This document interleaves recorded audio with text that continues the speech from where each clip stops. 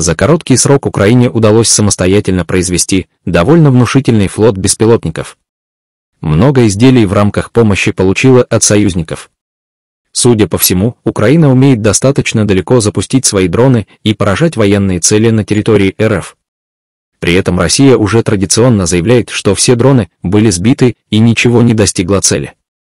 Так получается каждый раз, когда Украина запускает много дронов. Максимум выбитые стекла или незначительные повреждения от обломков беспилотников, а система ПВО все сбивает на подлете преддверии атаки беспилотников на военные аэродромы Федерации, Морозовск в Ростовской области, под Ейском Краснодарского края, а также базы стратегической авиации Энгельс-2 под Саратовом, 4 апреля 2024 года было зафиксировано значительное количество самолетов на этих аэродромах.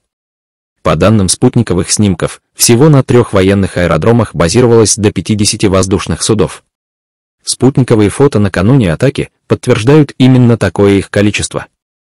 На аэродроме Энгельс-2 было по меньшей мере 8 стратегических бомбардировщиков.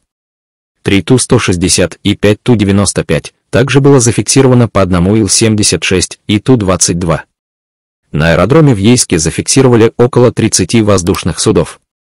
10 учебно-тренировочных и учебно-боевых самолетов Л-39, 7 военно-транспортных ан разных моделей, 9 истребителей типа Су, вертолеты К-27, один Ми-8 и два учебно-тренировочных самолета Ту-134УБЛ, а также Б-200.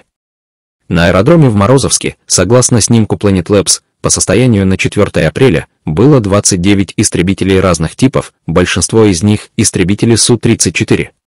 После масштабной атаки дронов на авиабазы РФ 5 апреля появились разнообразные оценки поврежденных вражеских самолетов, которые были опубликованы якобы из собственных источников. В частности, в ходе атаки украинских дронов на военный аэродром в российском Ейске удалось повредить 7 вражеских самолетов, включая 4 истребителя Су-30 и самолет-амфибию Б-200. Такую информацию озвучила «Украинская правда» со ссылкой на источники в военной разведке Украины. Серьезные повреждения получили по меньшей мере три стратегических бомбардировщика Ту-95МС на аэродроме Энгельс-2. А в Морозовске только уничтоженных пять самолетов. Местные жители Морозовска заявили, что насчитали более 60 взрывов в воздухе и на земле в районе аэродрома. Кроме того, в городе в некоторых районах нет воды и света. Спустя некоторое время в сети появились и снимки аэродрома Морозовск, где базируются российские самолеты тактической авиации, фронтовые бомбардировщики Су-34 и многофункциональные истребители Су-30 и Су-35. На аэродроме базируется 559-й гвардейский бомбардировочный авиационный полк. На них нет масштабных разрушений именно на авиабазе, также не видно сожженных самолетов. Максимум – несколько воронок возле площадки технического обслуживания. Однако считать, что это свидетельствует об абсолютно неэффективной атаке, неверно. Если бы удар был нанесен крылатыми ракетами с 400-килограммовыми боевыми частями или устаревшим Ту-141 «Стриж» с боевой частью около 100 килограмм, то последствия попаданий точно были бы значительно заметнее. В то время как речь идет о дронах с весом боевой части значительно меньше. Так вес боевой части довольно крупного дальнего беспилотника «Камикадзе Лютый», которым атакуют нефтеперерабатывающие заводы, 50 килограмм. В то же время в меньших дронах, таких как «Бобер», вес боевой части еще меньше, а на некоторых образцах вообще используются кумулятивные КЗ-6, как на ланцетах. Конечно, с таким кумулятивным зарядом можно гарантированно уничтожить самолет, но это требует очень точного попадания в него. Поэтому такие боевые части не являются оптимальным вариантом. Тем более, когда речь идет о поражении самолетов, часть из которых еще и находится в капонирах.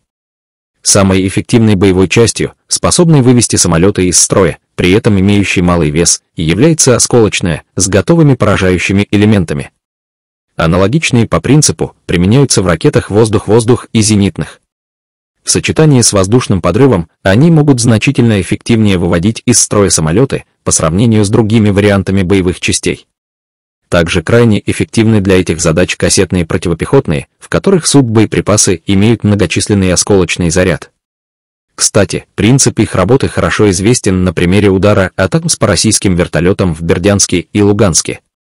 Будут ли такие повреждения заметны на снимках спутника, даже если речь идет о разрешающей способности 30 см на пиксель, нет.